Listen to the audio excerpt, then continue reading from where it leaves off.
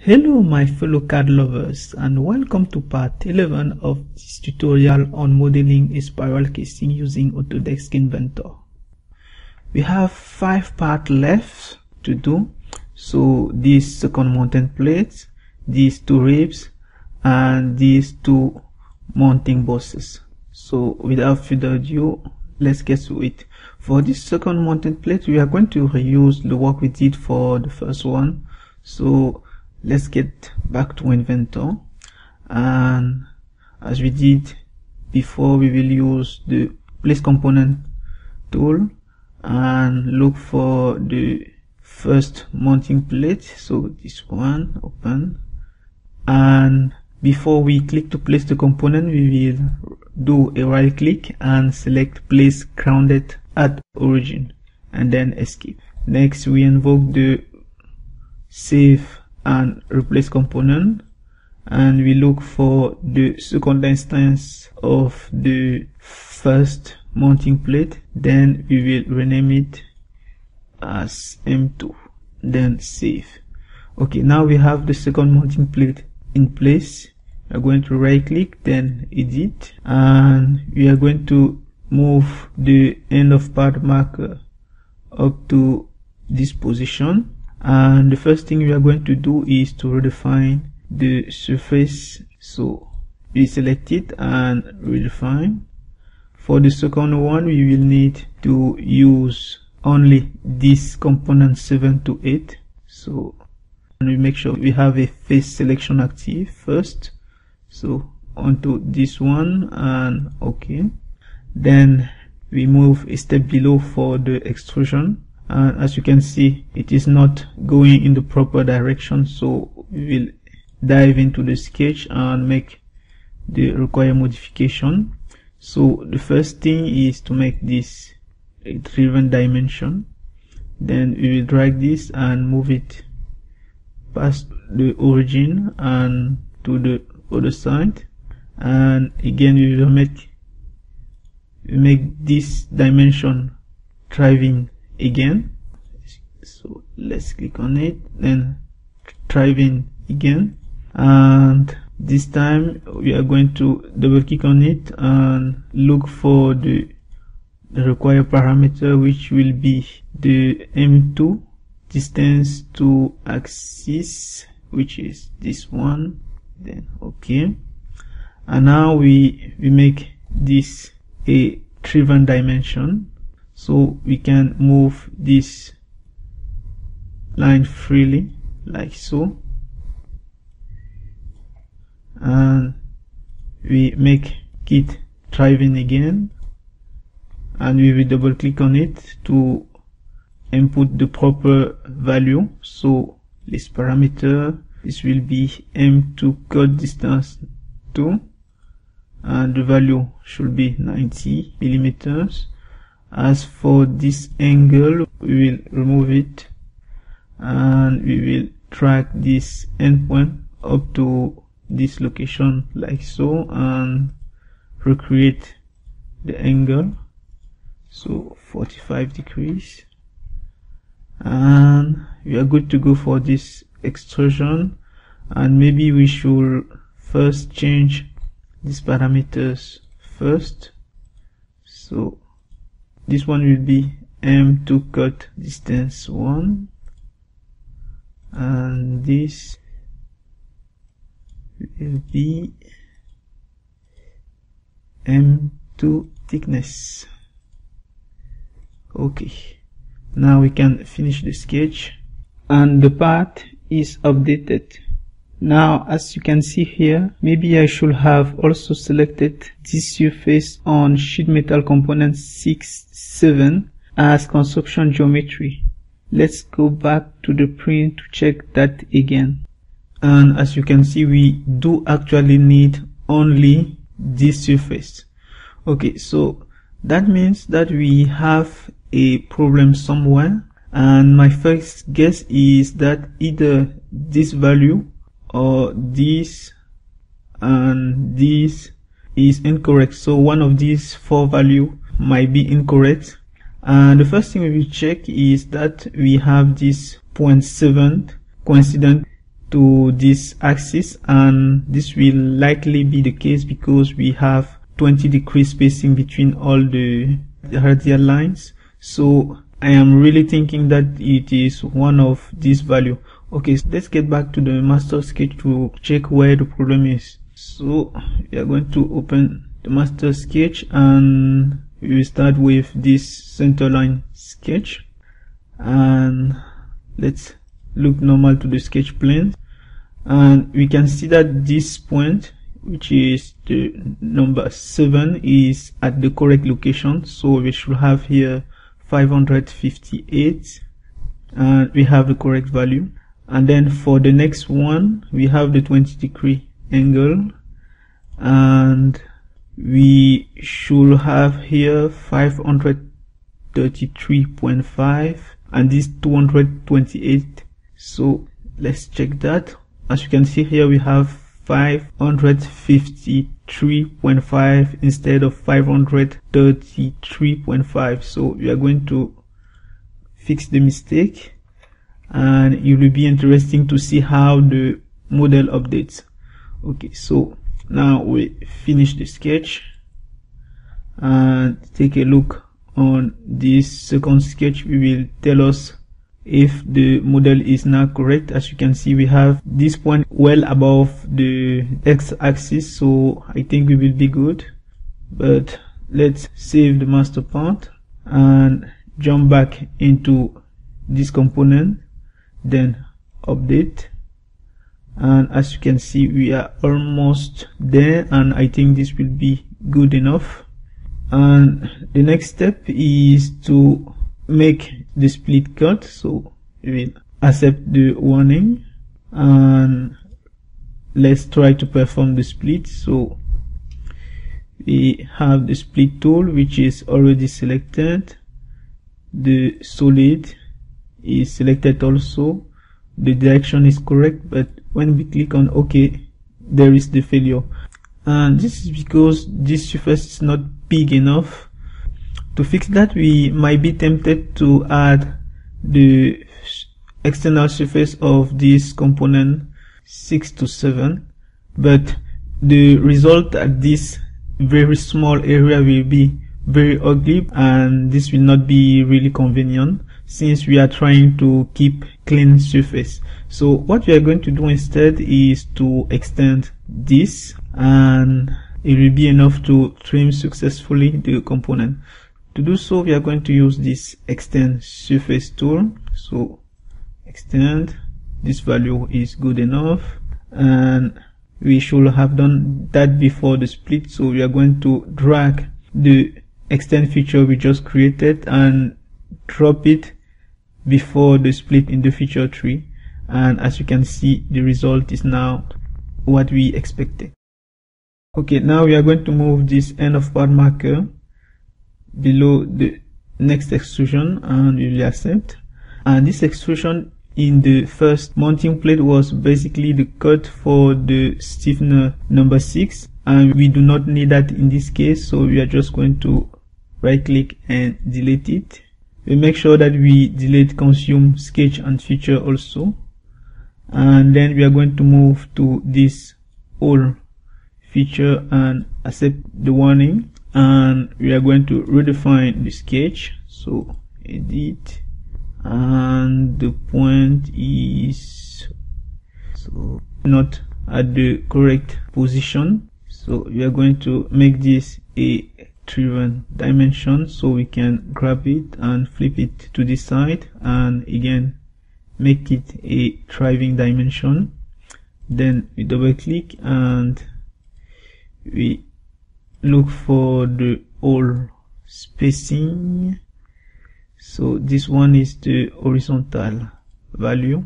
So it should be oops no the vertical value. So the vertical value instead and okay.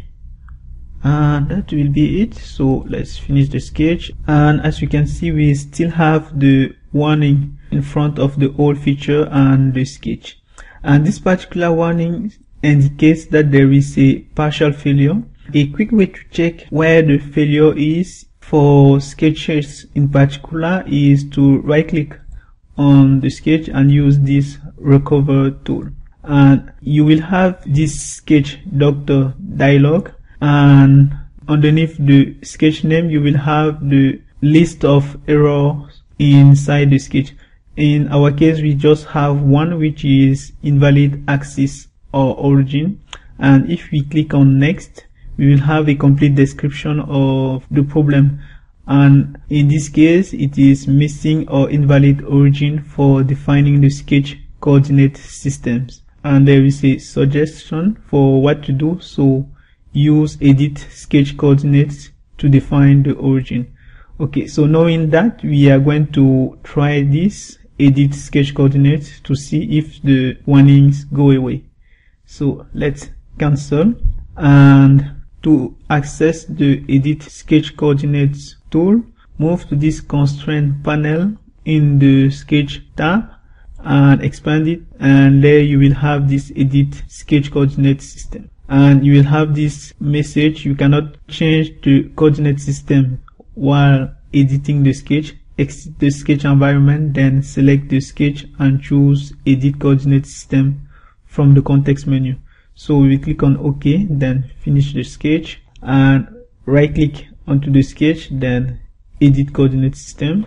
And we will zoom to see where the coordinate system is currently positioned. As you can see it is in this location. And we are going to have to move it from this location to this one where the actual origin is.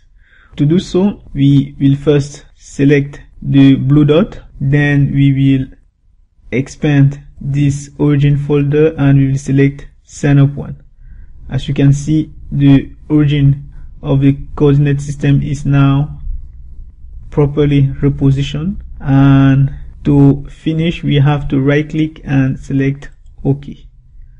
Uh, let's check if there is the warning message again. As you can see the warning message is clear and we are good to go for the next part. Okay so now we will move this underneath. And as you can see the part is complete but there is something missing and it was also the case for this first mounting plate is the chamfer at this corner. So we are going to add them before proceeding to the next part. So we are going to move up again before the mirror feature and we are going to add a chamfer. So we will use this first option which is equal distance and we will enter 18 millimeters. This value is not on the pen i just assume it was something close to that. So now we will move the end of part marker after the mirror feature and we are good to go for the next component. So let's hide this first and return to the assembly and let's first edit this to add the chamfer. So it will be before this mirror feature. And chamfer again. This edge and this one. We will input the 18 millimeters. And let's move this below. Return to the assembly.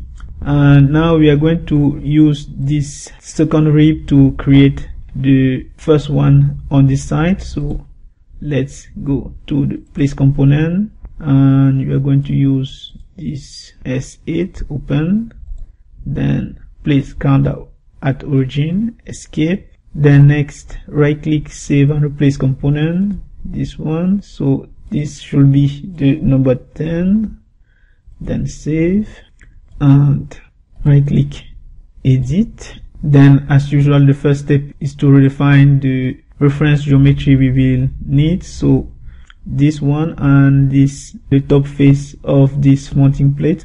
So we're going to select this redefine.